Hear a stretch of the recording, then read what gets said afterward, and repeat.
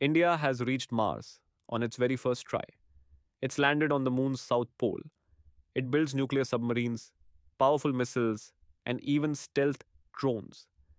And yet, there's one technology, one beating heart of modern air power that India still can't build on its own a fighter jet engine. For nearly 40 years, India's Kaveri engine project has been a mix of hope, frustration, and lessons learned the hard way. It's a story that reveals why one of the world's fastest growing superpowers still struggles to build the very thing that lets a nation truly take flight. The story begins in the 19, 1980s. India wanted freedom from dependence on foreign defense suppliers. Every imported part came with strings attached politics, sanctions, and uncertainty. The government's vision was bold build a completely Indian fighter jet, the Light Combat Aircraft, or LCA Tejas, powered by an engine made in India. This dream gave birth to the Kaveri Engine Project, launched in 1989 under the Gas Turbine Research Establishment GTRE of DRDO. The goal was simple but ambitious create an advanced afterburning turbofan engine from scratch something only a handful of nations had ever achieved.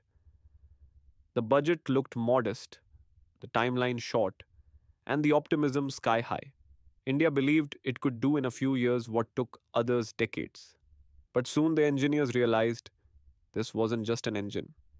This was the Mount Everest of mechanical engineering.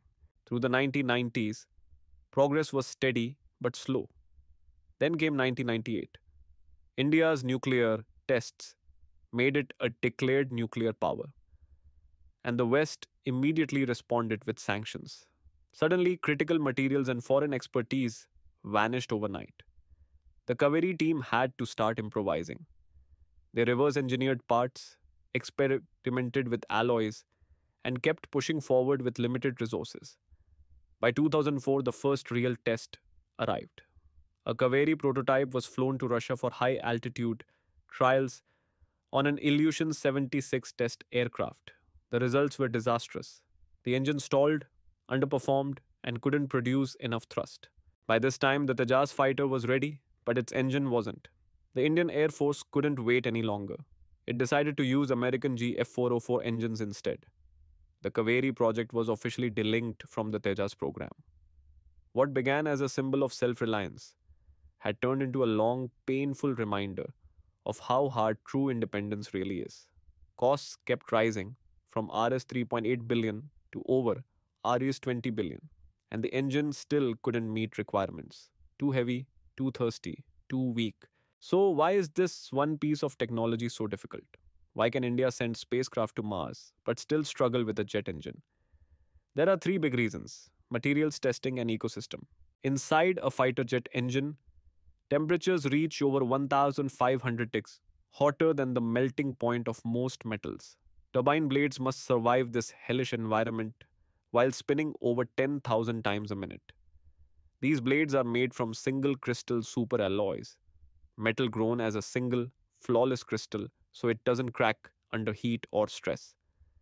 Only a few companies in the world can make them reliably Rolls Royce, GE, Safran. For decades, India simply couldn't replicate that process. Designing an engine is one thing, proving it works is another. You need advanced test facilities to simulate freezing, low pressure conditions at high altitude, and scorching heat at low altitude. India didn't have many such facilities, meaning each failure set the project back by months, even years. And then there's the ecosystem.